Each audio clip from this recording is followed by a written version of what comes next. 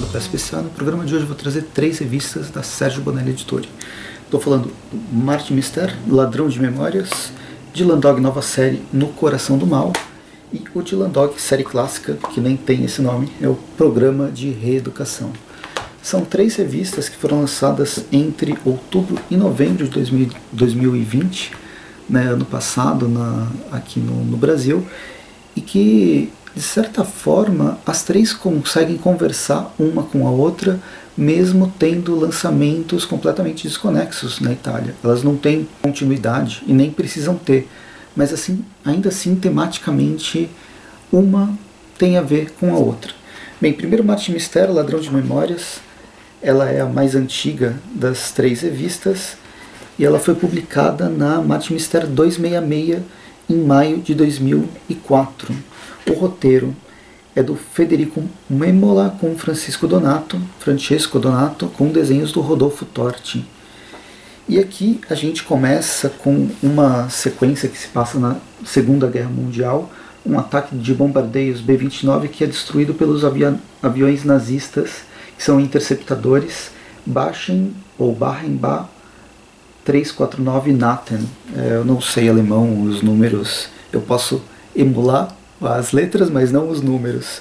E são aviões bem bizarros, que eles são tipo, tipo foguetes que são enviados para o alto e depois eles nem, eles nem conseguem pousar, mas são armas extremamente mortais. Eu li um pouco sobre elas assim que eu vi nessa primeira página, foi pesquisar e mais para frente o próprio Martin explica sobre elas. É, é interessante essa forma do, do Matt Mister. Eu acho que uma das coisas que eu mais gosto dele é que ele consegue ser enciclopédico, trazendo várias informações sobre curiosidades, seja da cidade, da formação da, das lendas de Praga, onde se passa essa história, ou outros elementos, como, por exemplo, esse avião nazista, que nada tem a ver com Praga, mas tem a ver com uma, um personagem que se envolve nessa história. O que acontece é que o Martin vai para Praga para fazer um programa dele, enquanto isso Java ele vai curtir a vida, principalmente a vida noturna na cidade de Praga. O problema é que ele é drogado e uma pessoa tenta fazer mal para ele, não no sentido sexual, mas ainda assim é um abuso bastante forte, que é um telepata que tenta roubar as memórias do Java. Bem, Ladrão de Memórias não é à toa esse título e esse vilão, ele gosta e ele vive dessa forma, roubando memórias das pessoas e vivendo essas memórias. O problema é que as pessoas elas têm aquela memória que o cara, que o telepata viveu completamente apagada. Ou seja, algumas pessoas podem simplesmente ter a memória, ter o cérebro completamente apagado.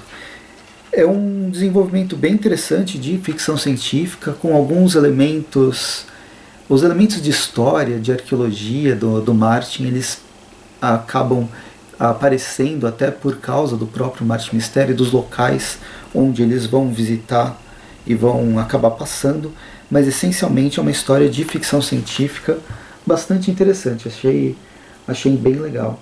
Na história seguinte que eu quero falar é No Coração do Mal, do Dylan Dog. Essa aqui já é a nova série, ela foi lançada originalmente na Dylan Dog 351 em novembro de 2015 e tem roteiros do Hattinger com os desenhos do Alessandro Badi. O Hattinger, ele chama na verdade Francisco Derminio e não me pergunte por que, que ele tem esse nome artístico. Mas é uma história bem, bem legal e acho que uma das coisas que mais me chamou a atenção é a arte. A arte do Alessandro Badi ele tem uma liberdade maior nos enquadramentos. Eu acho que vocês já estão cansados de me ouvir que o sistema padrão da, da Bonelli, dessa a leitura dela, como que é organizado as histórias, elas são de certa forma elas levam um padrão clássico de três quadros por dois. Aqui no Martin Mister dá para ver justamente isso com algumas pouquíssimas variações, mas isso determina o ritmo da história, o ritmo narrativo. Embora os desenhistas acabam imprimindo a sua própria arte e dão, conseguem subverter um pouco, ele tem uma certa é, espectro que é difícil de fugir.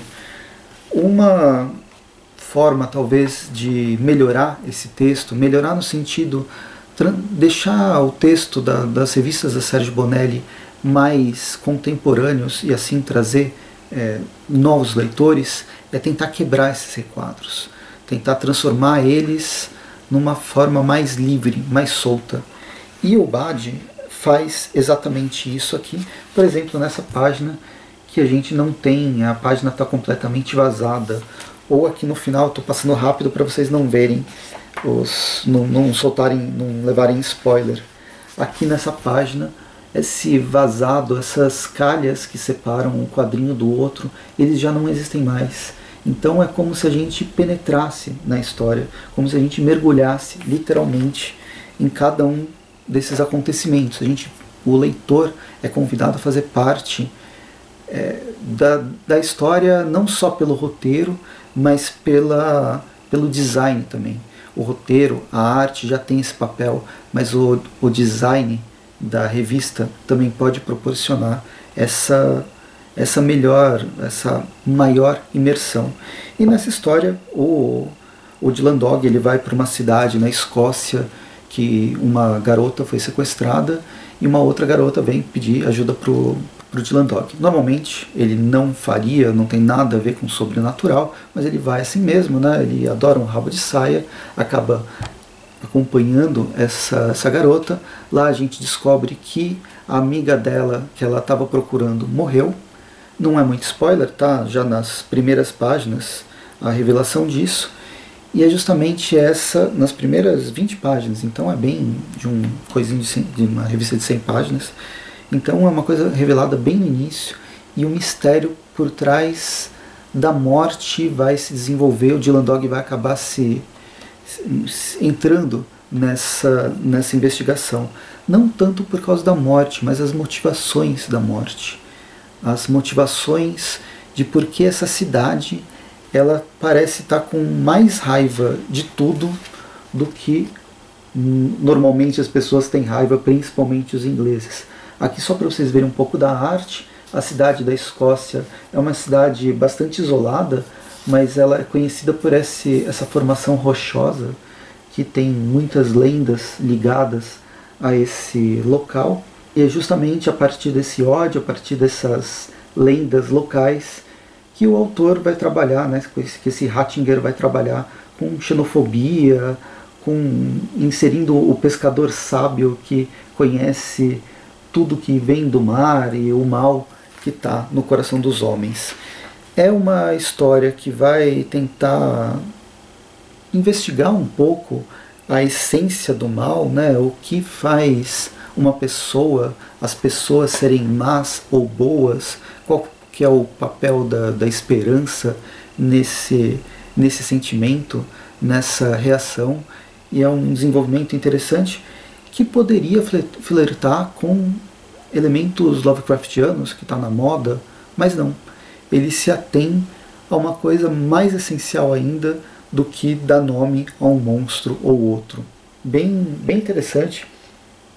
Gostei dessa. Gostei da, do, do, do gostei do texto proposto pelo Rattinger.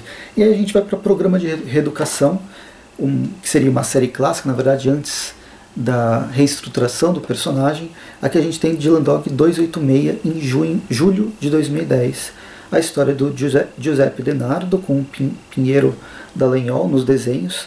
A arte do Piero acredito que não vai agradar muita gente, porque ela é uma arte mais, mais rabiscada, mais suja, mas é surpreendente como esse traço sujo ele ainda consegue caracterizar personagens e cenários que vão brotando, assim como o movimento das, das sequências, ele acontece nessa, nesse desenho, nesse traço completamente orgânico que vai, que vai sendo colocado pelo Pierro.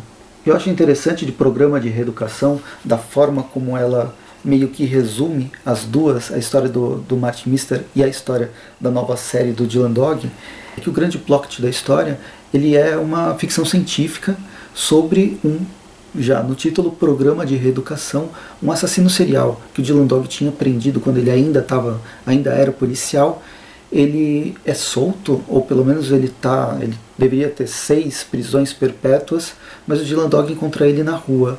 No fim, ele descobre que esse assassino ele está passando por uma experiência de limpeza de mente, ou pelo menos de limpeza de sentimentos ruins, para ser readequado à sociedade de alguma forma.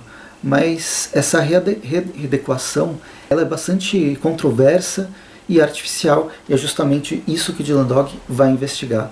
Existem elementos de ficção científica. Um, um, filme que me lembrou bastante é aquele A Cela, é um filme dos anos 2000, tem a Jennifer Lopes como protagonista, e ela é justamente uma psicóloga que, através de uma tecnologia, entra na mente de assassinos, de, de várias pessoas, para investigar quais são as causas do mal. E por isso, esse título, No Coração do Mal, da nova série, ele também poderia ser utilizado no programa de reeducação. Bem, bem legal, eu achei muito interessante ler essas três histórias, essas três revistas juntas e como elas acabam se complementando de certa forma. A gente tem tanto essa investigação da essência da maldade humana, como o lance da ficção científica e da, da, da, leitura de mente, ou pelo menos do apagamento e da manipulação da mente alheia. Legal, divertido. O Dylan Dog, a série clássica que vem trazendo histórias mais, uh, mais instáveis, por assim dizer, ele conseguiu trazer uma bem interessante. E gostei, gostei das três revistas e acho que vale a pena ir atrás para quem gosta do personagem.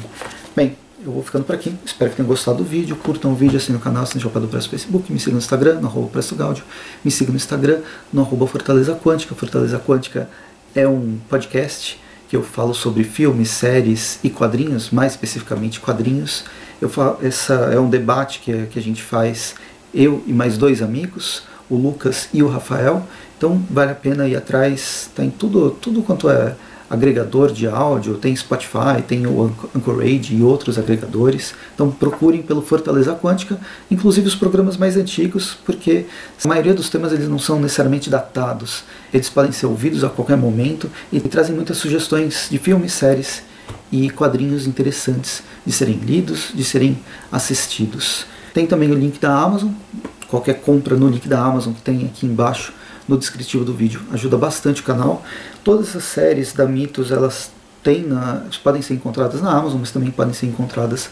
Essas daqui acho que se, se encontram em banca de jornal e também tem as, o site da Mitos, que é, é, mais, é o mais completo de todos. Enfim, vou ficando por aqui a gente conversa os comentários. Comente nos comentários se vocês estão lendo essas revistas, se não estão, qual o interesse de vocês nelas. A gente se vê no próximo episódio. Até mais e bons quadrinhos.